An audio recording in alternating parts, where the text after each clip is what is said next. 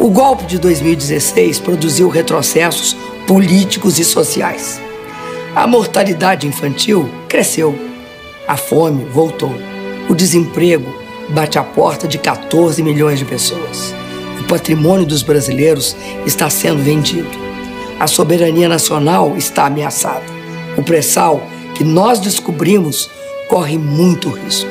Para reverter tudo isso, é preciso lutar todos os dias.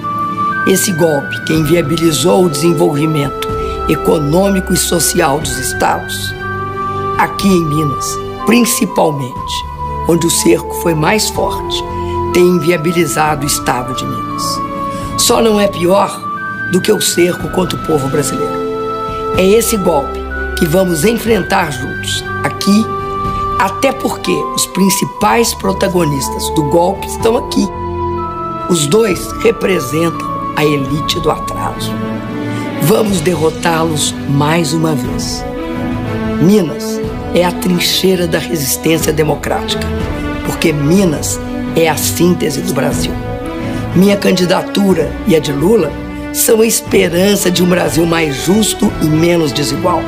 Minha candidatura e a de Lula são em defesa do nosso povo e das conquistas dos nossos governos e por maiores avanços.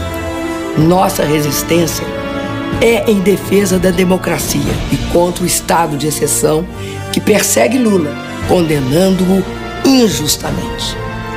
Querem impedir que Lula, um inocente, seja eleito presidente da República, mesmo sendo o desejo da grande maioria dos brasileiros.